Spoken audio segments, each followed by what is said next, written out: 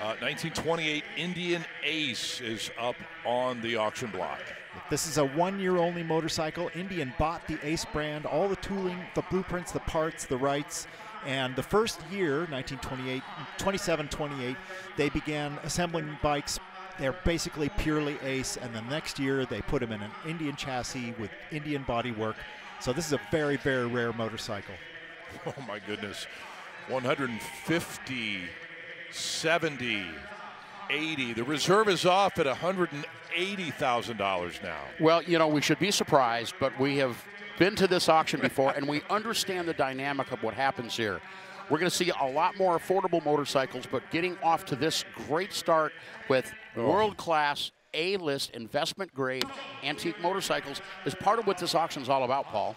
That's right, and we see the best of the best here. It's pretty impressive, you know, and this is a brilliant machine. 74 cubic inch flathead engine, new tires, restored wheels, in running condition, sold on title. Somebody give